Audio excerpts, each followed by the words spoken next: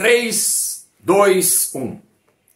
Salve pessoal, amigas e amigos ligados no canal Mil por Hora com Rodrigo Matara. Estamos chegando com vídeo inédito nesta quarta-feira para falar da Fórmula Indy. Quinta etapa da temporada no último sábado, em Indianápolis, no circuito misto.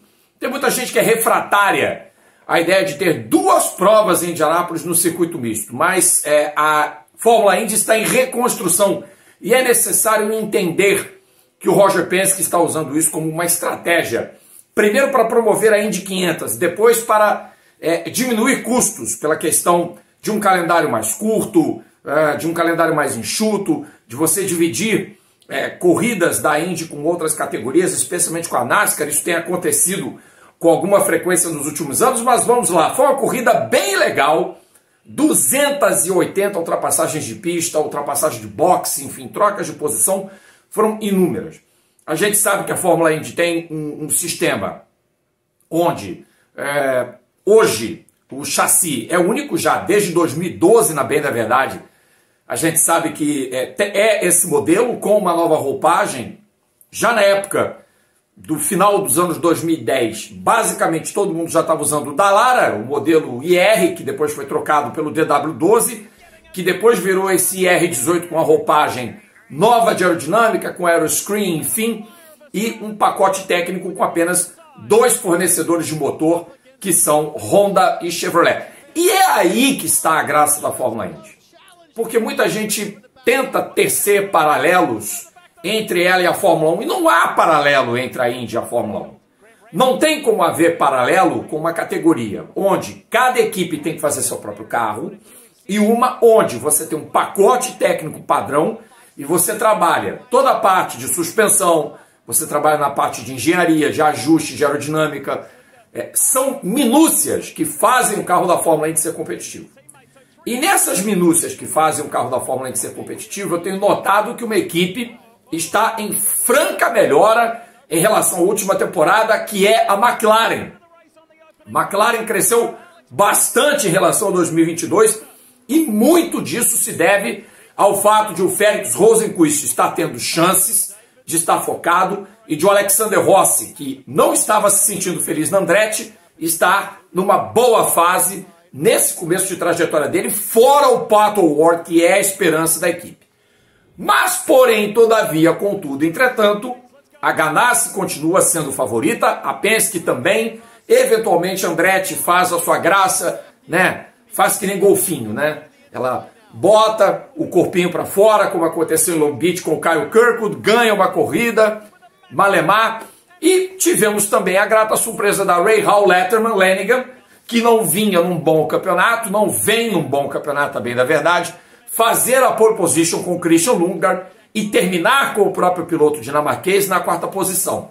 Ele foi um estranho no ninho entre os três pilotos da McLaren que eu já citei, Scott Dixon, que é um alien, que foi o sexto colocado, e o vencedor. Pois é, gente, o vencedor fez as pazes com o primeiro lugar e olha, eu não queria dizer nada não, mas depois de resolvido aquele embrólio, e a gente sabia que isso podia ser resolvido, a questão judicial envolvendo Palou, McLaren, pipipi, popopó, acabou aquela história de a Ganassi boicotar o Palou, ele vinha que vinha ganhou em Laguna Seca no passado, na última etapa do campeonato, de forma dominante. E o que ele fez no sábado em Indianápolis só dá uma amostra do que o piloto espanhol pode fazer. Ele corre numa das melhores equipes da Indy. Não é um piloto fantástico, mas foi campeão em 2021.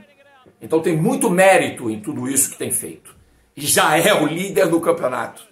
Azar dos adversários, que quando perceberem, se tudo continuar dando certo, o Paulo vai lá e janta todo mundo. E tem um outro detalhe. A Indy 500 normalmente é território Ganassi. Ela é a equipe que tem a melhor preparação de carros para a prova.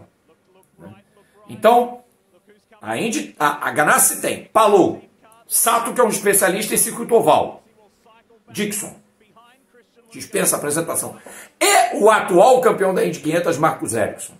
Então a Ganassi para mim, sai com o status de franca favorita.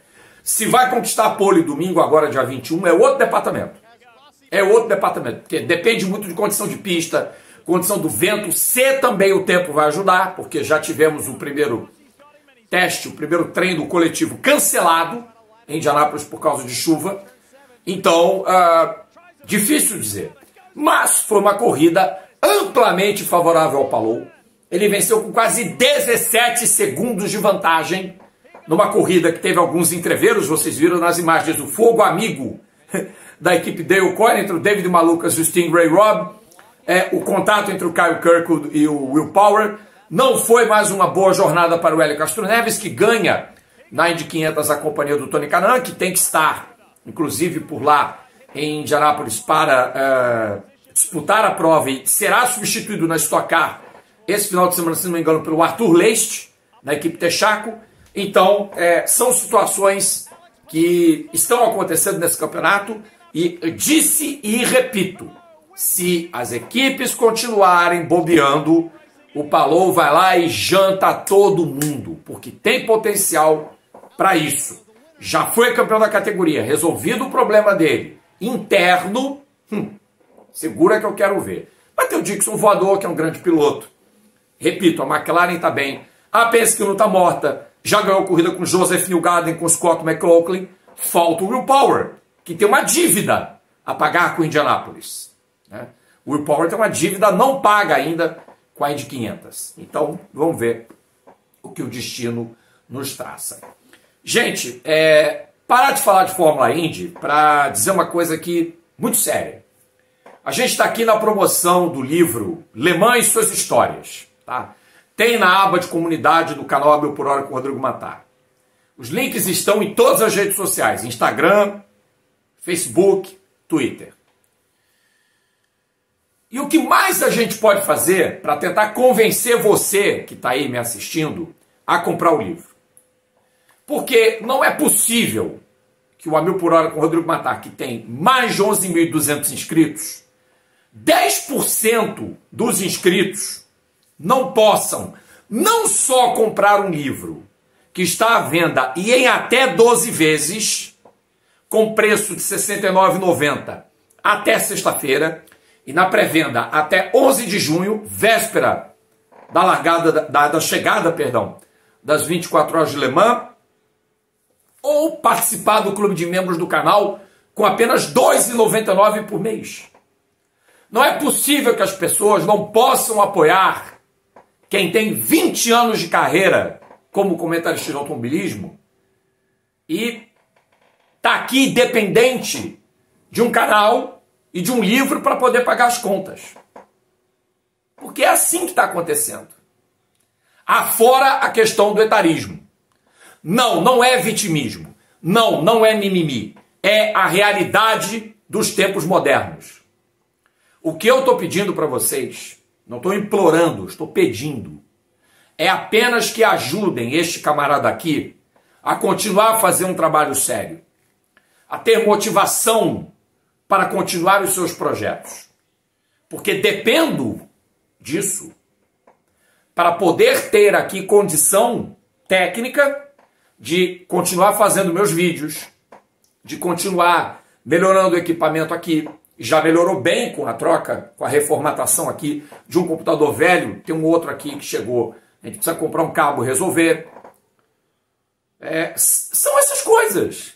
A gente não está pedindo nada além do necessário. Que vocês comprem o Le Mans Suas Histórias através do site da Gulliver Editora tem link na aba de comunidade, tem link aqui na descrição desse vídeo, gente. Que vocês ajudem o canal. É trabalho sério. Não é trabalho de quem está aqui há 20 meses, são 20 anos como comentarista.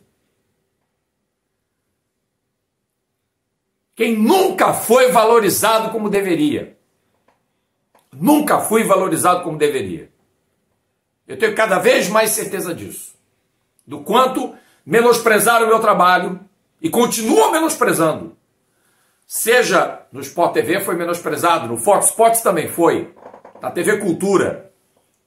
Qual o problema? Qual é o problema? Eu queria entender esse mecanismo. Por que, que as coisas estão assim? Se a gente faz um trabalho que quem vem aqui elogia, na sua grande maioria, e a gente é alimentado por elogios, não é pro ego, não.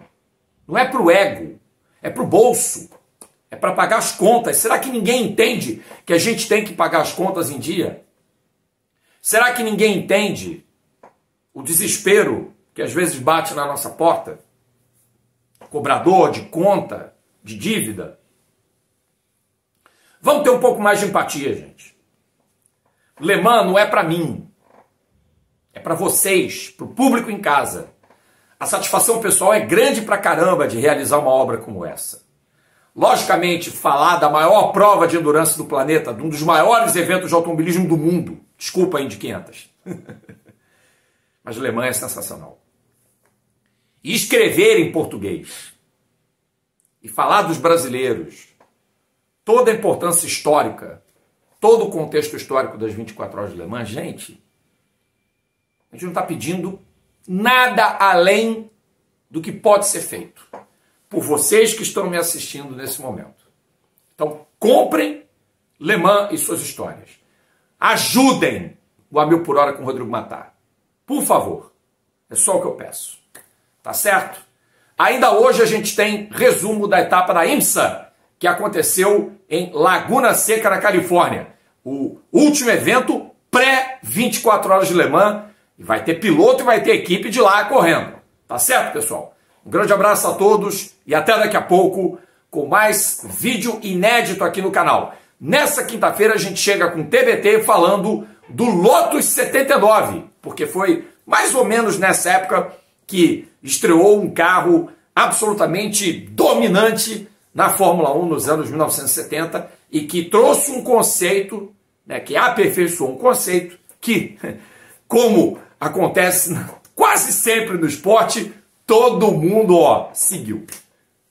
Até, pessoal!